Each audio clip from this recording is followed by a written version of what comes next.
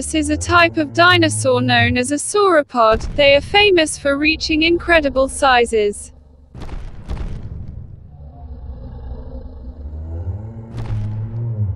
Other members of the sauropod family include the Diplodocus and Apatosaurus.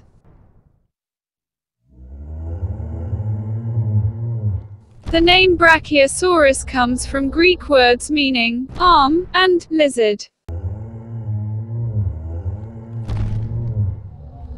The name refers to the interesting nature of Brachiosaurus legs which were longer at the front than the back. Brachiosaurus lived in North America.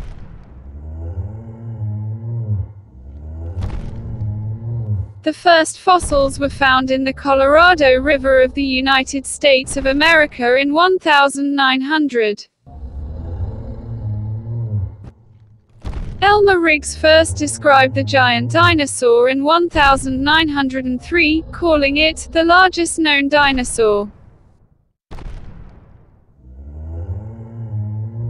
The Brachiosaurus had a long neck, a small head and a relatively short tail compared to other sauropods.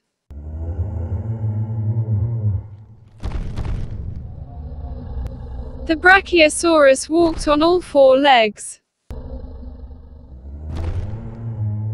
The weight of Brachiosaurus has been estimated between 30 and 45 metric tons.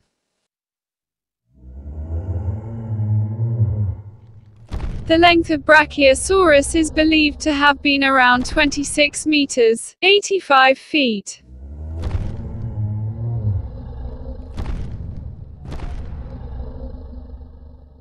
The Brachiosaurus was a herbivore, plant eater, that feed on foliage high above the ground.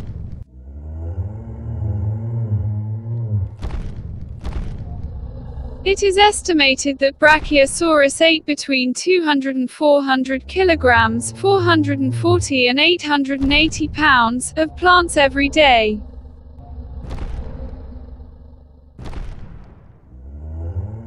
It wasn't until 1994 that the original Brachiosaurus fossils found by Elmer Riggs were shown in a museum.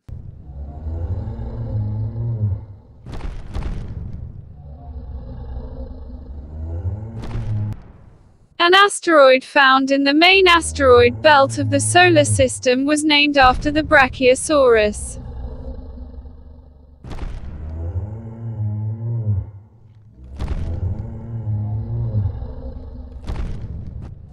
Brachiosaurus featured in the movie adaptation of Michael Crichton's well-known book, Jurassic Park.